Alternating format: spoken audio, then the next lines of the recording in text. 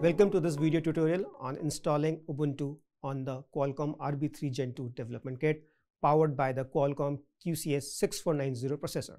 In this video, we'll guide you through the entire installation process and highlight the key features and benefits of this powerful development kit.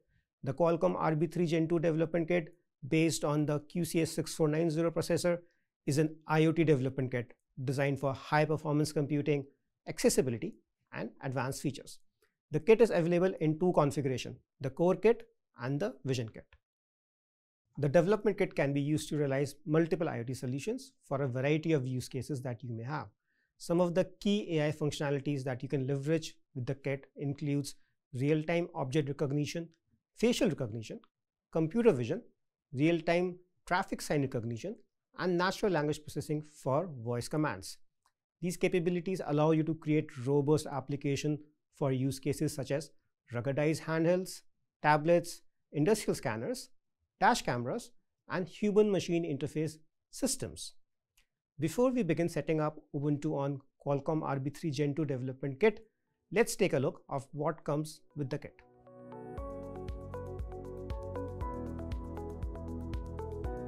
Out of the box, the core kit contains a device with Qualcomm RB3 Gen 2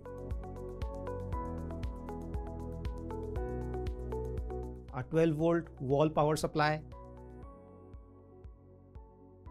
a USB A to USB C cable, USB A to micro USB cable, two speakers,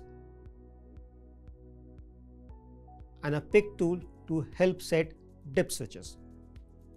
For reference, the Vision kit includes the Qualcomm RB3 Gen 2 core kit and the Vision mezzanine attached. The IMX577 high resolution camera and the OV9282 tracking camera. Now let's move on to installing Minicom, configuring it and logging into the UART console. This step is crucial for communicating with your Qualcomm RB3 Gen 2 development kit via the serial interface.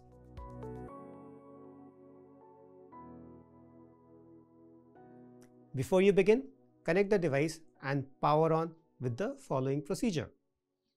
Plug in the supplied micro USB cable to the micro USB debug port as shown. Plug in the 12 volt wall power supply. Hold the power button for 2 seconds until the power LED stays illuminated.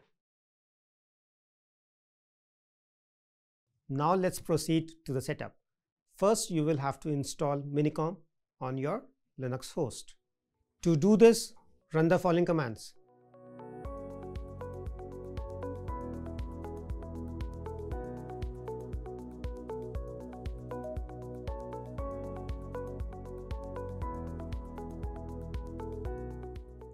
Next, let's check that the USB port is working. Run this command. This sample output should appear. Now that you have Minicom installed, let's open it by running this command. You will see a set of configuration options. Use the down key and select the serial port setup option. Now let's configure the serial port from the device by following these steps. Press A on your keyboard to set up the serial device name and press enter to save the changes. Next, press E on your keyboard to set the baud rate to 115200.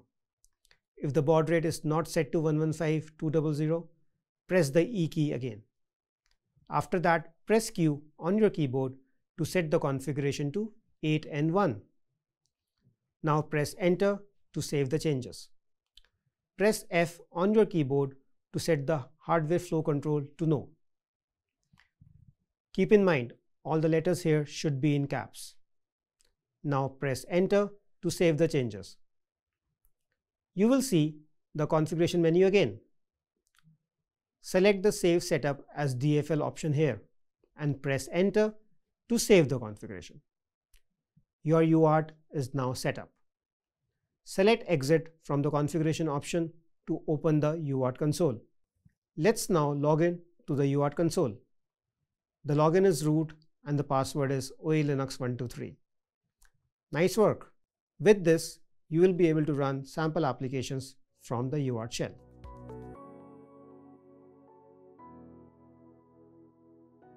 Now that the UART is set up, let's download the optimized Ubuntu image for the QCS 6490.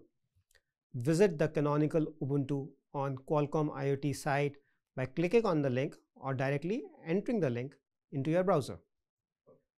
Go to the option for downloading the Ubuntu server for the QCS 6490 and afterwards click the option to download the boot firmware. Once they are downloaded, ensure that you have the following files downloaded into the same directory on your host machine.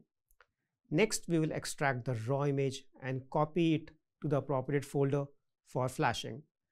This step ensures that the image is ready for installation on your Qualcomm RB3 Gen 2 development kit.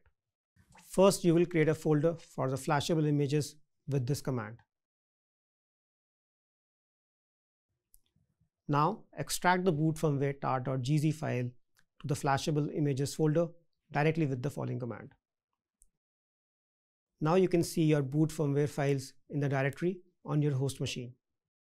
Next, you will replace the extracted raw program 0.xml file in the directory with the one provided in the canonical releases with this command.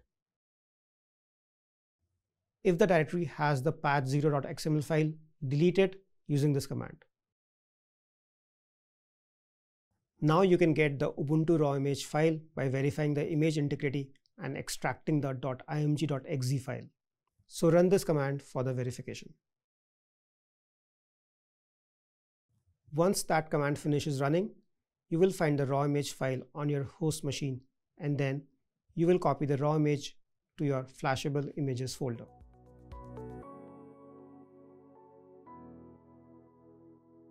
Now we'll get ready to flash the Ubuntu image onto the Qualcomm RB3 Gen 2 development kit.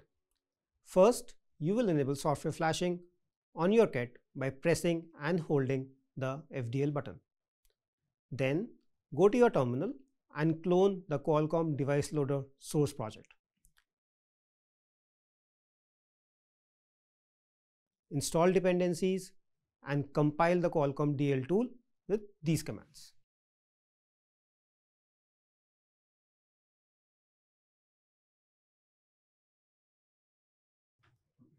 Next, use the Qualcomm DL tool to flash the system onto the board with the following commands.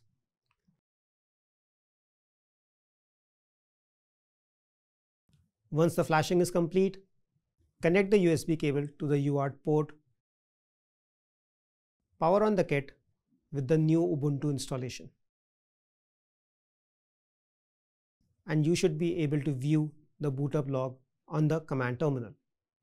It is important to check the boot up log to make sure that there are no error messages and the device has booted up properly.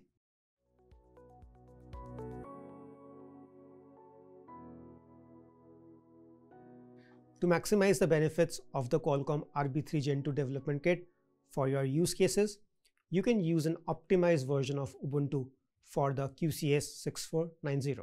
The optimizations include configuring system settings and installing additional drivers or software for various IoT use cases.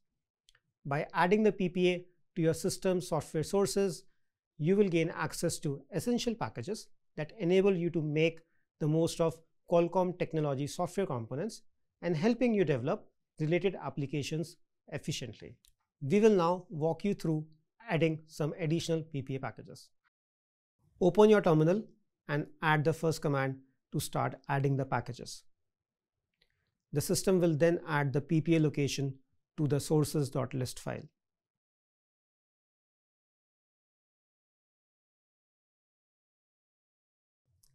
After it is done processing, add the following command so that your system can add the latest software updates.